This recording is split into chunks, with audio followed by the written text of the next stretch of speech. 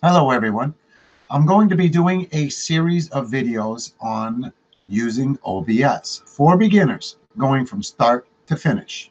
Now you can make your videos look like this which is on Google Hangouts but you're restricted. Your audio sounds a little bit different, sounds a little tin canny uh, so to speak and you have to contend with the Google logo up there in the top.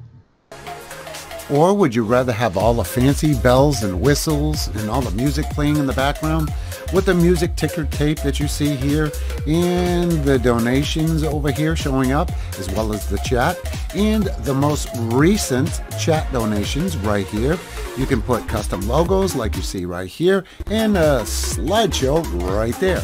So basically you can add all these images and all these extra effects to OBS, whereas you can't do that with Hangouts. You can also add different scene transitions if you want to do that as well.